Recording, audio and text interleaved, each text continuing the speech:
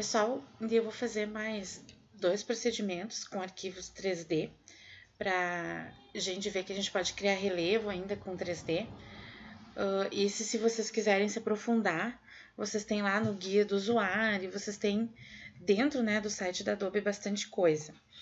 O que, que eu me guiei aqui? A gente, além de criar os arquivos 3D que a gente pode criar a partir de um texto, de um shape, a gente pode abrir um arquivo 3D. Foi isso que eu fiz aqui, ó. Eu abri, na realidade, uma bússola aqui para a gente trabalhar. E, claro, eu baixei de um site gratuito que é esse aqui, ó, free3d.com. Lá tem vários que depois vocês podem baixar, se vocês acharem que precisam comprar para algum projeto de vocês, ele também está lá para compra, mas algum objeto específico que vocês queiram, por exemplo, uma camiseta, uh, daqui a pouco vocês querem um bonequinho para colocar uma outra roupagem, enfim, tem objetos 3D gratuitos para vocês baixarem e vocês, ó, tem até um, um Lego ali, e para vocês botarem em algum projeto. Basta que não precisa nem se cadastrar, vocês podem estar tá baixando e usar num projeto de vocês. Porque daí ele não cria uh, esses 3D mais. Uh, como é que é? Uh, mais com mais detalhes, assim, por exemplo, ah, vou modelar um prédio, vou modelar um dinossauro. O Photoshop não foi feito para isso, né? É um programa 3D específico. Então aqui o que, que eu fiz? Eu abri um, depois eu deixo lá para vocês para download. Na realidade, ela é uma bússola, ó, ali que eu tenho. Então baixei essa bússola ali. E quando eu for ali nas malhas, eu tô na camada 3D, né? Como é que eu abri? Eu só fui lá, arquivo, abrir e ele reconhece. Deixa eu só ver a minha luz ali, que eu tô achando ele um pouco escuro, ok? E se eu for aqui nos materiais, vou na camada 3D, nos materiais, a gente vai ver ali que a gente tem ali os materiais. Então, por exemplo, só para mim reconhecer, vou pintar de azul, Aqui ele deve ter pintado toda, deixa eu girar ela, ó. Aqui a parte da frente. Ou um chaveiro, né? Não necessariamente uma bússola, um chaveiro, compás. E esse ali é o outro material. Então, deve ser esse aqui. Deixa eu pintar com uma qualquer outra cor. Ó, é aquele ali. E aí, eu posso fazer o mesmo processo que a gente fez lá no outro e substituir. Então, posso deixar selecionado esse aqui e no difuso a opção ali e pedir para substituir a textura. Daí eu vou trazer outra, outra imagem que eu tenha. Então, vocês podem abrir um objeto 3D aqui.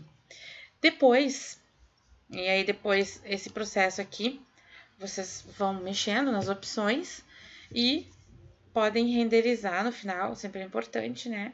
e acrescentar luz se necessário. Depois aqui o que, que eu fiz? Eu abri uma imagem lá nas minhas camadas. Eu deixei a imagem numa camada e deixei um fundo. Nessa camada aqui, eu vou lá no 3D, vou pedir a malha de pré-definição e vou pedir para gerar um anel. Vou clicar em criar. Ok? Pedir para gerar o meu anel. Deixa eu só colocar ele ali, ó, para mim já ver a sombra dele. Vamos girar ele, deixa eu mover ele aqui. Esse, ok. Fui com ele para fora. Muito bem. Aqui tá a minha luz, que eu posso estar tá mexendo nela também. Ok. O que, que eu quero fazer aqui que a gente não viu nos outros? A gente já viu o mapa de opacidade, que eu posso uh, deixar ele uh, com algumas partes transparentes. E aqui, nas malhas, se eu for ver, por que, que eu peguei o anel? Porque ele só tem um material nele, né? A gente tem um mapa aqui de relevo. Eu poderia estar tá deixando ele pintado com uma cor e usar o relevo. Por exemplo, deixa eu dar um Ctrl Z para ver se ele vai desfazendo para mim. Até a parte que eu quisesse. Ok.